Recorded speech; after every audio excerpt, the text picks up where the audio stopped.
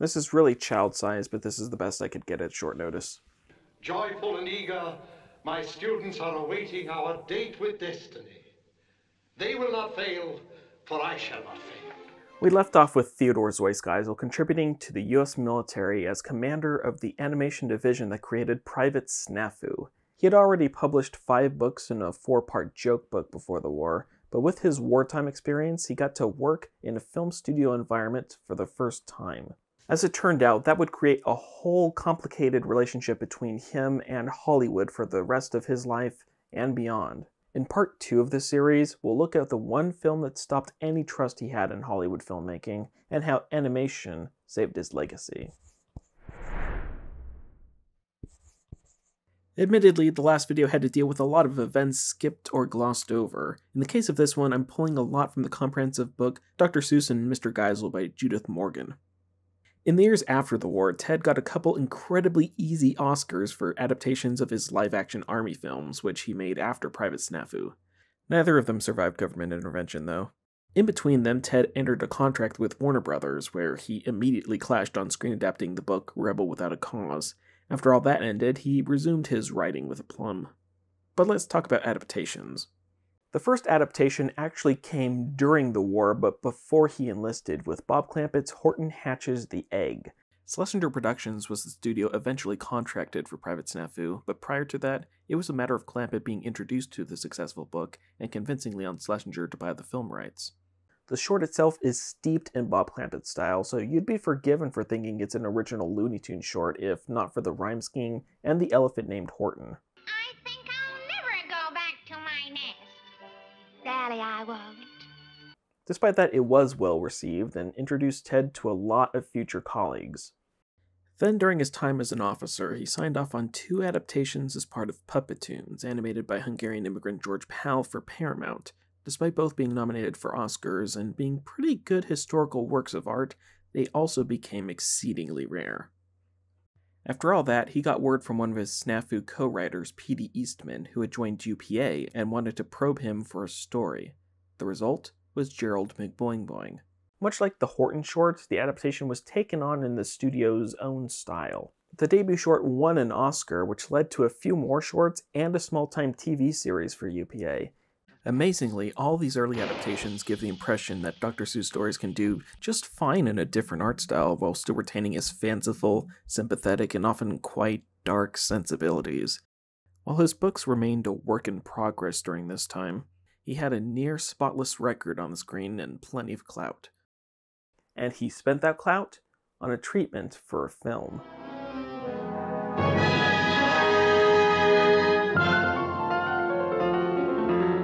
Columbia, who released Gerald McBoing Boing, took on an original story about a boy forced to train on a piano and dreaming about it going to the extreme.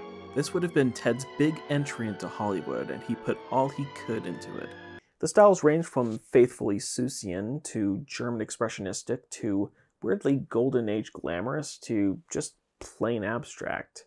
And then, of course, there's the handsome white guy, primed to stay by young Bart's widowed mom. I'm in terrible trouble. So everyone gets into trouble. Everyone in the world. The king of Persia sometimes even gets into trouble. But the king of Persia, does he come crawling out of my air vent? Not at all. The king of Persia, he stays in Persia. The lack of tension through knowing it's a dream is more than made up for by threatening music, ominous landscapes, and just the sheer energy put in by Hans Conried, who was clearly enjoying his time playing basically the same character in Peter Pan and a Dr. Seuss movie at the same time.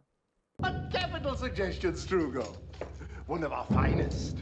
The problem was that over time, compromises had to be made. The supporting cast are all just people in cheap costumes and body paint, even when they're clearly meant to have Seussian biology.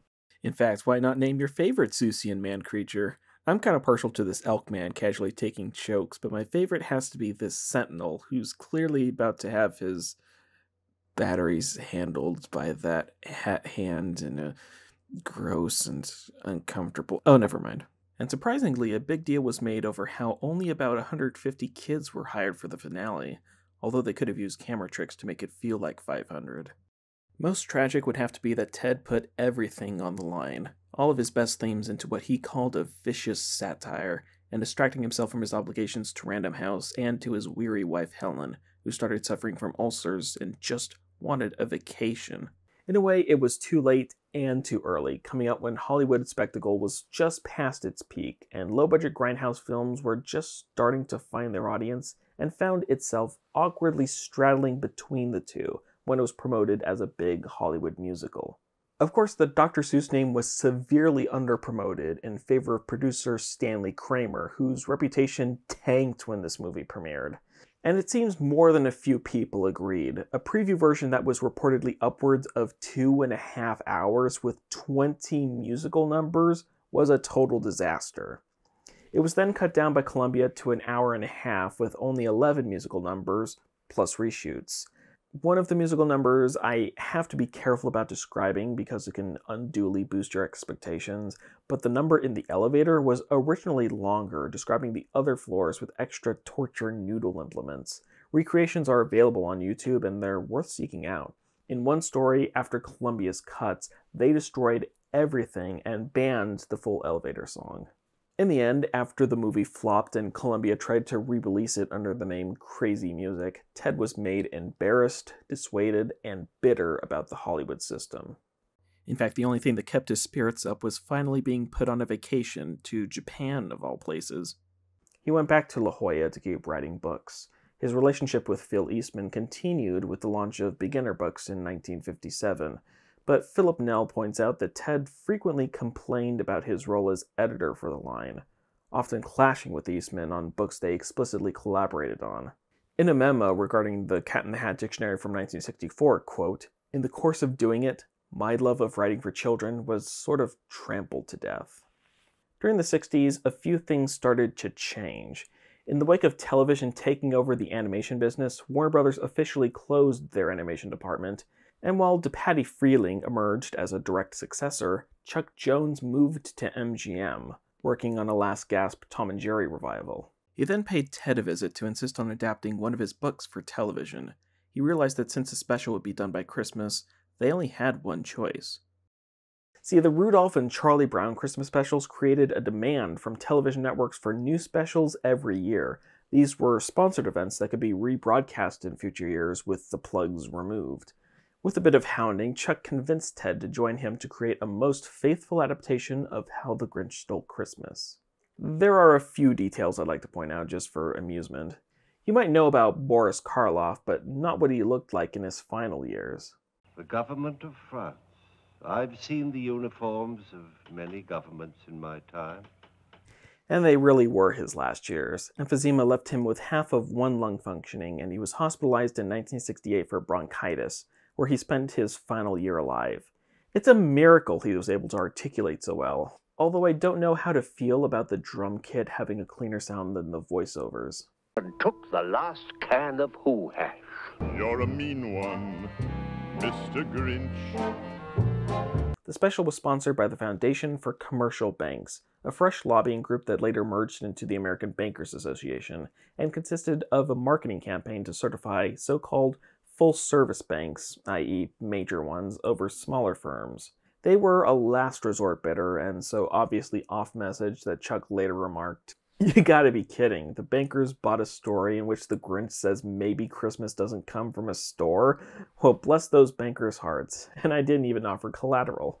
It wouldn't matter, since as before, the plugs would be removed in future broadcasts, with the sponsorship having done its job for that year. And needless to say, the special was well received. Jones also produced specials for Horton Hears a Who, The Cat in the Hat, and The Lorax, but production of the latter two moved to DePatie Freleng after MGM closed down their animation studio. Incidentally, one of the last projects Jones did for them was an adaptation of The Phantom Toll Booth, which sort of addressed some of the aesthetic problems of Dr. T by setting the fantasy world with animation. It was still a financial flop, but a better reviewed one. Have you found my way yet? I hope it isn't mildewed. Speaking of Dr. T, starting with Dr. Seuss on the Loose, which you might have seen on home video as Green Eggs and Ham and other stories, Hans Conried was brought back to voice the Zax, followed by the Grinch in Halloween is Grinch Night, a personal favorite. There's just something about when Dr. Seuss goes unrepentantly dark, especially with the voice of Captain Hook on hand. Am I the Grinch? One last detail to bring up is that Ted managed to wrangle copyright over the more recent TV specials, sharing them with his second wife, Audrey. After all, they did follow his creative visions more closely. Optic, optic, ring around the rosy. How I hate working for this royal slub. At the very end, as Ted lived out his final years, he did give one last minute concession to Hollywood. Producers Roland Joffe and Ben Myron convinced him to work on a mostly animated feature film based on his final book, Oh, the Places You'll Go. It would have been a crossover spectacular written by him, made as a musical celebration of his legacy, and funded by TriStar. Unfortunately, he passed away during the writing process, and Joffe and Myron were soon tied up in the mess that was the Super Mario Bros. movie.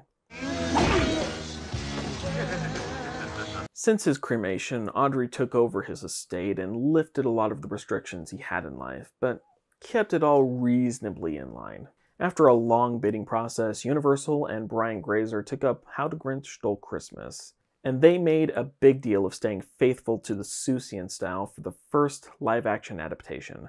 But Good Graces would only go so far. Honey, it was ruined when she bought it. And the cycle would soon repeat itself. You boob. I'm just joking. so that was the tragedy. Dr. Seuss, whose stories were destined for the cinema, remain largely doomed to fall short. Some adaptations find glorious success, but the legacy of this man is in how narrow a path there is from story to screen, and how specific things need to fall into place for something as effective as a Dr. Seuss story. But of course, Dr. Seuss is but one author. What about where he sits in the pantheon of children's literature? Well, that's one final legacy that we'll talk about next time.